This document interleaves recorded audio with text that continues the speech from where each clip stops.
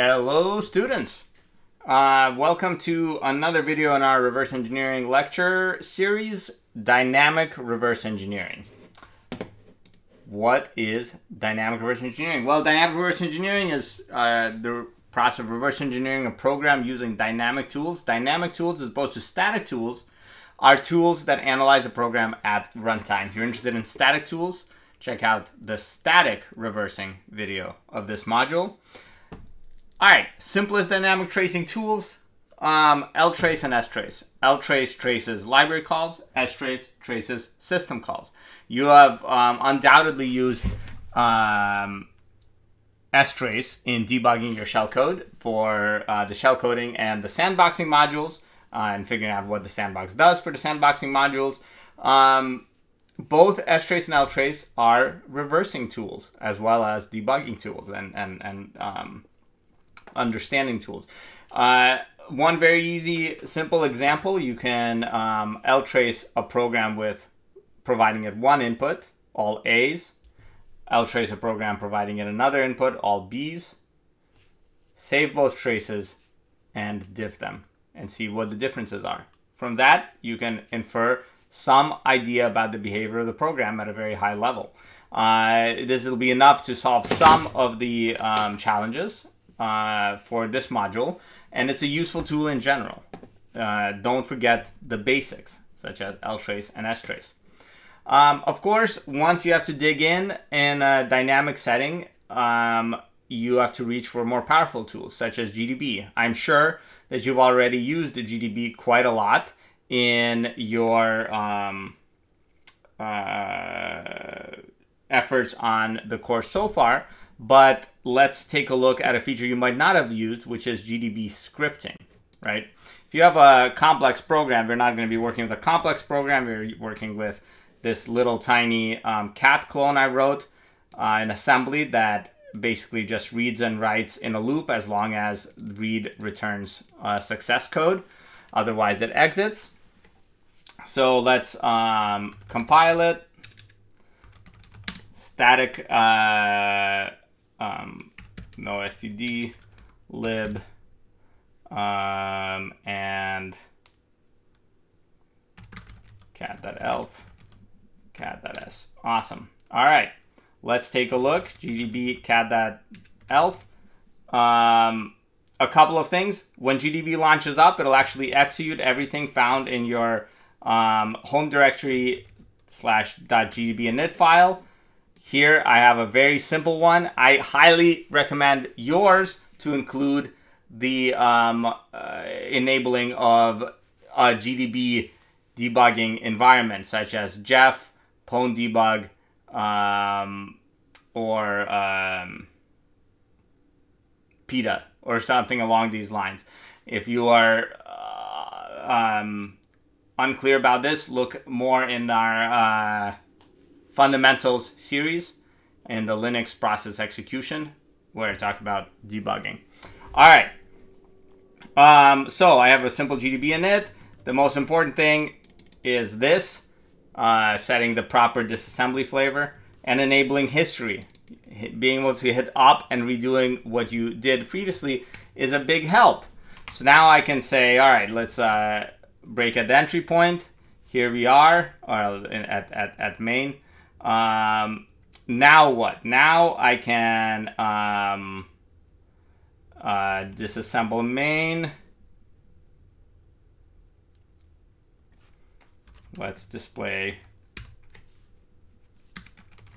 four instructions. I can step forward. All right, here's the syscall, right? So I can step past it. All right, now let's say I want to break at this syscall or I want to break at right after the syscall to see what I, I um, uh, wrote. I'll, I'll do that for the next one, next time around. Now I broke here, right? I can see, okay, what, what did I write? Okay, it is, or what did I read in? at this ASDF, ASDF, awesome. So far, this is nothing new to you, it's just stepping around in GDB. Of course, I can automate this. GDB has a scripting language that you can write arbitrary GDB commands and they will be executed. And the awesome thing is you can set these commands to run on um, uh, breakpoints. And you can actually do some pretty uh, advanced things. I highly recommend, I'll show you the basics, basically this. I highly recommend you dig in uh, through Google how to make conditionals, uh, if statements to do, you know, this and that based on, on um, conditions and so forth. All right. But here, um, what I'm to do is break at the instruction right after that read syscall, and I'm to print out the stack and continue. And this is super useful. So check it out. Here we go. Uh, I will launch that with dash x. Um, cat.gdb. All right. Breakpoint one has been set. I'll run. I'll put in some input. And here it is. Breakpoint one triggers. This is my display. Of course, uh, disp every time GDB stops for any reason, it'll execute all of the commands that you have for the display commands. So here it's my X, 5i, uh, RIP. Um, here's where I am, uh, what's in front of me. And then here is my print um, X slash S of RSP. Here's what got read in. All right, here's another one. Okay. All right. Awesome. Now I hit Control D here and it exits normally because I close standard input. Pretty cool stuff, right? Um, you can do arbitrary things here. You can do um, use printf to create uh, complex uh, uh, print statements that you can then grep for in a different script that calls this script. Let's say if you were trying to automatically solve something, you say uh, read syscall read in d bytes and uh, RAX. This is a complete experiment. Let's see if this works. No, invalid argument syntax. I think comma RAX.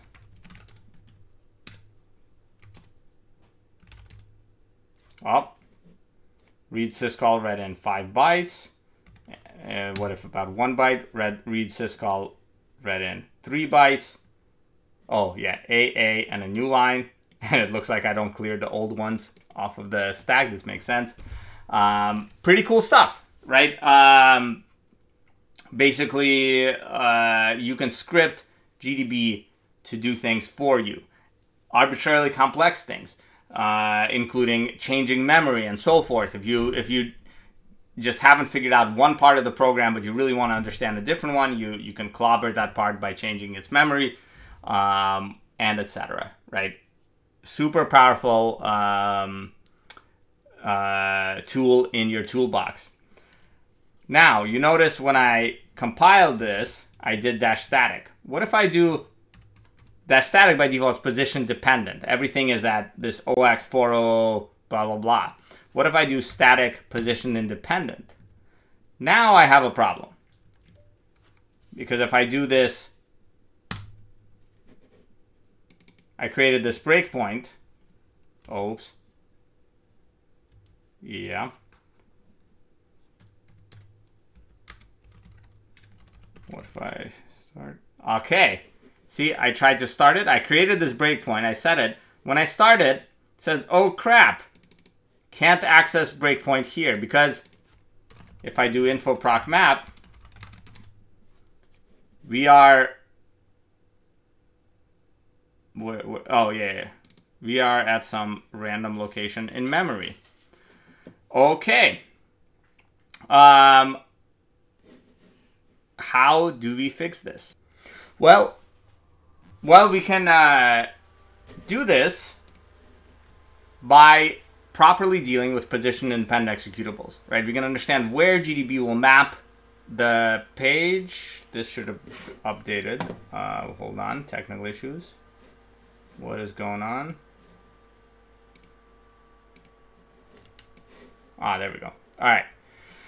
Sorry about that. We can um, uh, GDB will try to always load position-dependent executables at a fixed address. Depending on your version of GDB, this fixed address can vary. It can be uh, all fives and then a four zero zero zero, or it can be uh, some crazy 7 FFFFF. On my machine, it's 7FFFFF, so I have a local variable in my GDB init that sets the base to this, so that then, instead of break at whatever, OX40, blah, blah, blah, I can just break at base plus the offset that I want to break at. So let me show you what I mean. All right. Uh, what's going on? All right. So I do my compilation, static PIE. Uh, let me show you the disassembly of this. Okay. Um, much better. All right, I want to break at 1023, hexadecimal 1023, right before the syscall, or let's say 20, 1025, right after the syscall. If you recall, we used to break at 401025 when this was position dependent. Now, it's whatever the base address is plus uh, 1025. Uh, but this is super easy. I do the same GDB. Uh, let me uh, edit my script. Instead of this, I just do base plus OX 1025. And it is all perfect. The same GDB sets the breakpoint now let's see if this will work.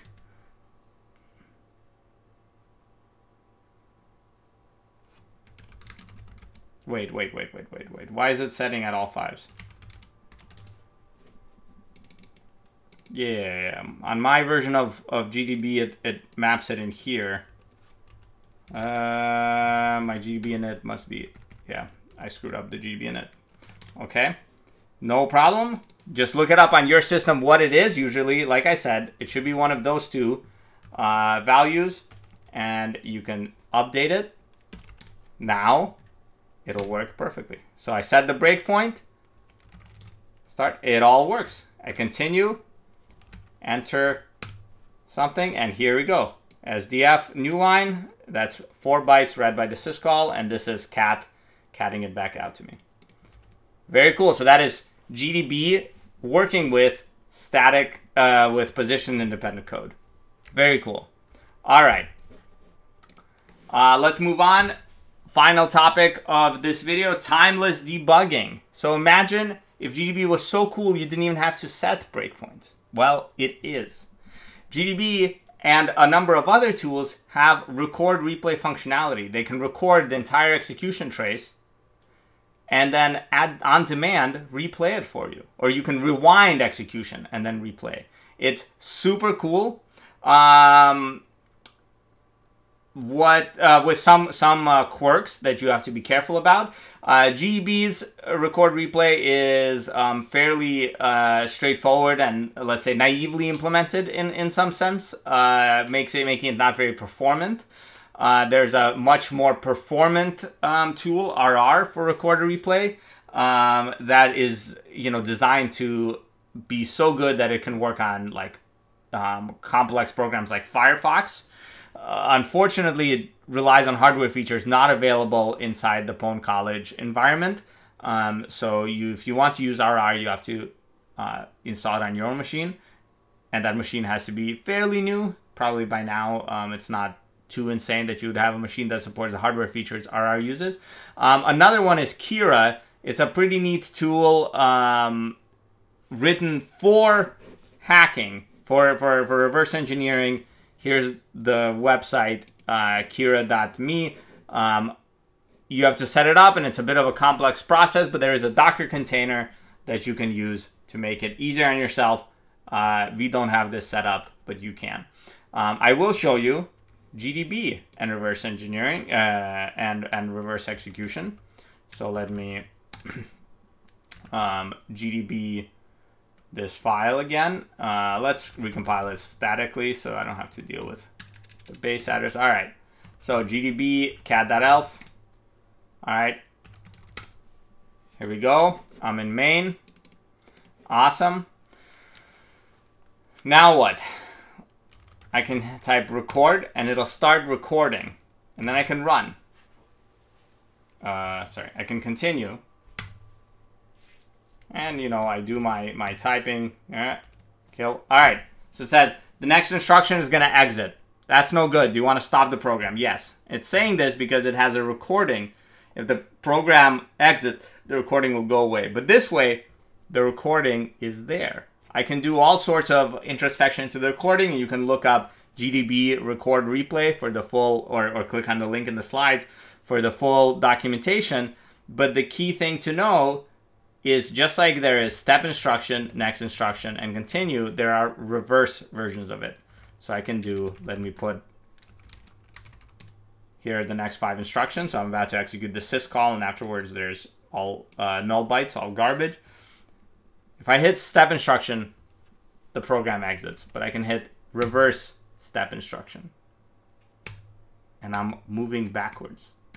Now I'm moving backwards through the write and read uh, syscall setups in main. And I can do RC.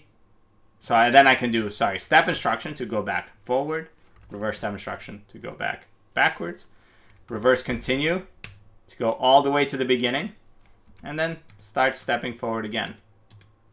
And this is all pre-recorded. I'm just rewinding and fast and, and fast forwarding through the recorded trace.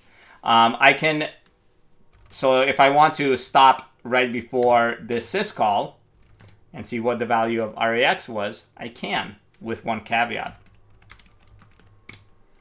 For some reason, it's 5. You can see that's bullshit. Uh, it's not accurate because if we step backwards until we see move RX0, the value of RAX should have been 0 here, but GDB thinks it's 5. GDB does I think, some optimizations and doesn't actually save the state at every instruction. Five is actually what that syscall returned. If, if we um, step to the syscall, right before the syscall, and look at uh, stuff on the stack, there's nothing on the stack. The syscall reads, I typed ASDF enter, the syscall read 5 bytes. That RAX uh, as the return value of the syscall, right? The problem is it was also, for some reason, recorded in the trace as the value of RDX back here after set RDX. Uh, RAX, sorry, after set RAX, a move RAX 0. So it's a little quirky. Keep it that in mind. One thing you can do is go back, rewind to the place you want to start execution at, so let's say we want to start execution at the second read syscall. Again, RAX is 5 because I typed ASDF enter again. Here, we can do record off, uh, sorry, record stop. And the recording stops. And I have my a live program again, but just rewound to an earlier place. So now I can start executing again. I would recommend hitting record again. It doesn't cost you much, just some performance overhead, but now you can rewind at any point and try again. So now I can go step instruction.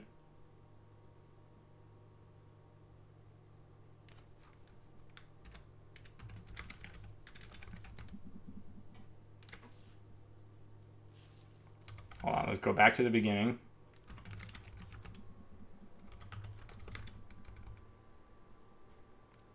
record stop. All right, if I do step instruction, step instruction, okay.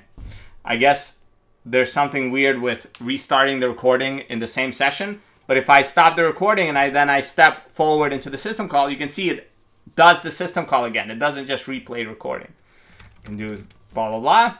And uh, here is what showed up in RSP and so forth. The program is alive and we're running again. Pretty exciting stuff. This really helps if you are really trying to figure out some intricacies about data flow or something. You can do reverse debugging GDB. You can run past to a certain point, decide actually I need to back up. I missed something. You back up, you look through it. It's very, very nice in Qira, but like I said, Qira takes a little bit to get running. Um, all right, that is the uh, reverse engineering dynamic tool um, kit that we'll talk about today. Uh, all of this you'll use in your challenge problems. Good luck.